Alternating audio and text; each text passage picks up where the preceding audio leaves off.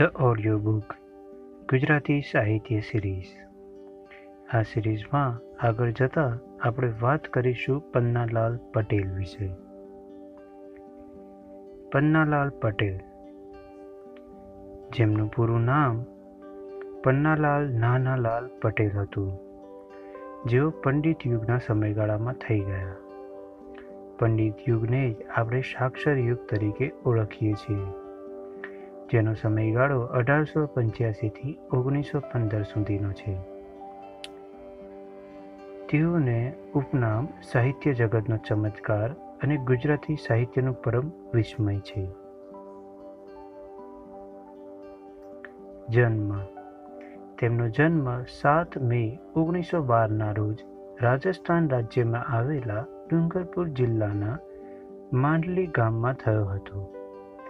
તેમના પિતાનું નામ નાનાલાલ અને તેમની માતાનું નામ હીરાબા હતું. તેમના પત્નીનું નામ વાલીબેન હતું.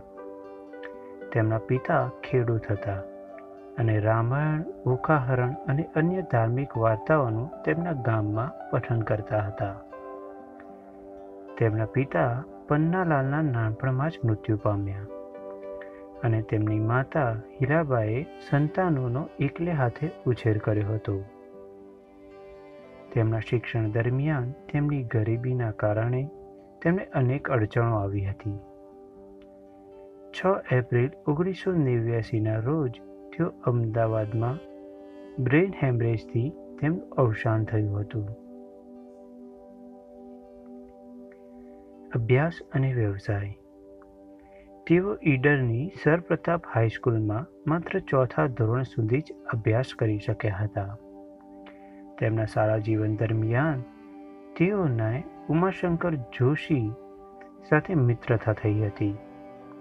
ઉમાશંકર જોશી પણ ગુજરાતી લેખક છે, જેઓને ગુજરાતી ભાષાનો પ્રથમ જ્ઞાનપીઠ પુરસ્કાર મળેલ છે. થોડા સમય માટે તેમણે ડુંગરપુરમાં દારૂના ભઠ્ઠા પર મેનેજર તરીકે નોકરી કરી હતી. તેમણે તેમની પ્રથમ નવલકથા અમદાવાદમાં એક સદગૃહસ્થના ઘરે નોકરી કરતા કરતા લખી હતી. તેમણે તેમની પ્રથમ ટૂંકી વાર્તા શેઠની શ્રદ્ધા ઓગણીસો છત્રીસમાં લખી હતી. પન્નાલાલ પટેલની પ્રથમ ટૂંકી વાર્તા શેઠની શ્રદ્ધા હતી. ઓગણીસો ઓગણએંશીમાં વડોદરામાં મળેલી ગુજરાતી સાહિત્ય પરિષદના સર્જન વિભાગના તેઓ પ્રમુખ રહ્યા હતા. આપ આપેલા ફોટામાં સરપ્રતાપ હાઈસ્કૂલને જોઈ શકો છો, જ્યાં ઉમાશંકર જોશી અને પન્નાલાલ પટેલ સાથે સહ તરીકે ભણ્યા હતા. જીવન ઓગણીસો છત્રીસમાં અમદાવાદમાં મળેલી ગુજરાત સાહિત્ય પરિષદના અધિવેશનમાં તેઓ ઈડરની શાળાના સહઅધ્યાયી ઉમાશંકર જોશી સાથે તેમનો અચાનક સંપર્ક થયો. વર્ષો પછી બંને મિત્રો તે જગ્યાએ એકઠા થયા. અને તેમના ઉમાશંકર જોશીના પ્રોત્સાહનથી તેમણે એટલે કે પન્નાલાલે સાહિત્ય સર્જનનો પ્રારંભ કર્યો. પછીથી તેમની વાર્તાઓમાં ઘણા જ ગુજરાતી સામયિકોમાં પ્રગટ થઈ. એક સહગૃહસ્થની મદદથી અમદાવાદની ઇલેક્ટ્રિક કંપનીમાં નોકરી મેળવી અને પહેલાં ઓઇલમેન પછી મીટર રીડિંગ કરનાર વગેરે તરીકે પણ તેમણે કાર્ય કર્યું. ચાર પાંચ વર્ષ મુંબઈની એન આર આચાર્યની ફિલ્મ કંપનીમાં પટકથા લેખક તરીકે પણ કાર્ય કર્યું. ત્યારબાદ વતન માંડલીમાં જઈ ખેતીનો વ્યવસાય અને સાથે સાથે લેખન પ્રવૃત્તિ કરી. સાહિત્ય સર્જન. પન્નાલાલનું સાહિત્ય સર્જન ખૂબ જ મોટું છે. તેમાંથી કેટલીક પરીક્ષાલક્ષી કૃતિઓ અહીં આલેખવામાં આવેલ છે, જે આ પ્રમાણે છે. તેઓએ નવલકથામાં વડામણા, સુરભી મીણ માટીના માનવી, નગદ નારાયણ અજવાળી રાત અમાસની એક અનોખી પ્રીત. પાર્થને કહો ચડાવે બાણ, શિવ પાર્વતી, ભીષ્મની બાણસૈયા કુબ્જા અને શ્રી કૃષ્ણ વગેરે નવલકથાઓ લખી છે. નવલિકામાં તેઓએ સુખ દુઃખના સાથી, ધરતી આપથી અછેટા, રંગ મિનાર બે બિન્ની પન્નાલાલ પટેલની શ્રેષ્ઠ વાર્તાઓ અને વીણેલી નવલિકાઓ વગેરે તેમની નવલિકાઓ અને નવલિકા સંગ્રહ છે. પ્રક્રિયામાં તેઓએ અલક મલક સર્જનની સુવર્ણ સ્મરણિકા અને લોક કુંજન લખ્યું છે.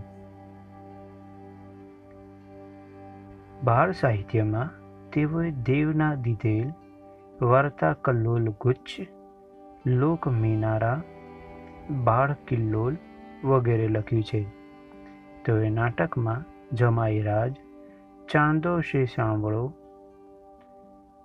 સપનાના સાથી, અલ્લડ છોકરી, સ્વપ્ન, મળેલા જીવ, પૂર્ણ યોગનું આચમન વગેરે લખ્યા છે. તેઓની આત્મકથા અલપ ઝલપ છે. ઘણીવાર પરીક્ષામાં પૂછાય છે કે અલપ જલબ કોની આત્મકથા છે?